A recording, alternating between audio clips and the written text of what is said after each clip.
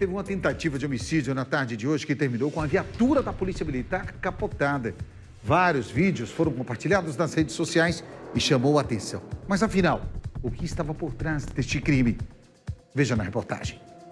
O acidente com a viatura da Polícia Militar foi na avenida principal do município de Mandaguari.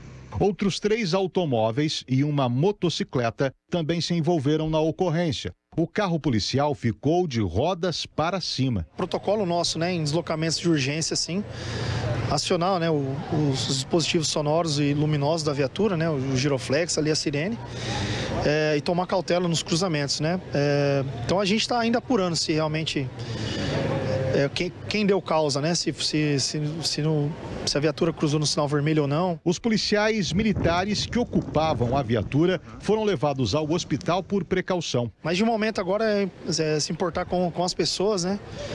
É, graças a Deus ninguém se feriu, não teve somente danos materiais e agora é, fazer os, a documentação para apurar a questão do, dos danos. Né? Conforme a PM, o acidente aconteceu durante o atendimento a uma tentativa de homicídio. A informação que a gente tem aqui é que ele, foram dois disparos no tórax, né? Foi socorrido no estado grave ali, mas foi socorrido com vida para o hospital.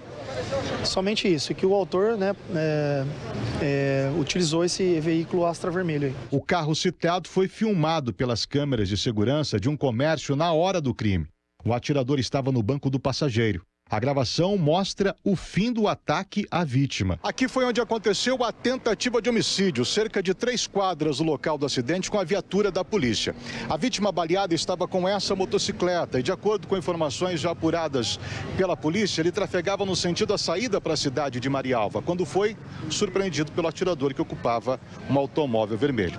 O condutor do veículo se aproximou, emparelhou, enquanto o atirador efetuou os disparos. O rapaz da motocicleta foi atingido por pelo menos seis tiros, sendo quatro deles na região do tórax. Observe nas imagens que uma mulher estava na calçada na hora do atentado. Por pouco ela não foi atingida. Um dos tiros acertou a placa de publicidade da loja que ela passava em frente.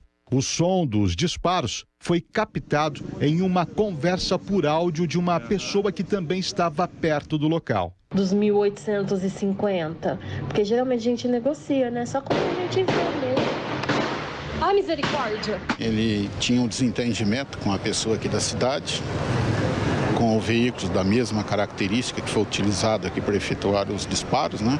A pessoa que estava nesse veículo era uma pessoa que já tinha desentendimento com ele e as informações nossas já estão bem adiantadas já para elucidar esse crime por completo. Aí a imagem que mostra o momento dessa tentativa de homicídio, logo na sequência a chegada da viatura e depois disso a viatura sai em perseguição. A imagem da viatura saindo em perseguição, a gente também vai mostrar para você. Ah, meu tablet no ar, Marcão. Coloca o meu tablet ali, ó, o momento em que a viatura, ó, é atingida ali no alto lá, ó, ó, ó. Hum, rapaz. Olha só.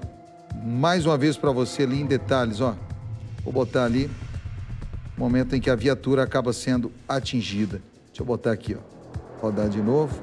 Voltar aqui, vamos lá. Vou dar o play, ó. A viatura vem. Oh, rapaz, o rapaz só deu um toque no carro, ele ainda tentou frear, hein? Mas foi o suficiente para fazer com que a viatura acabasse capotando. Tá aí a imagem, mais uma vez, para você.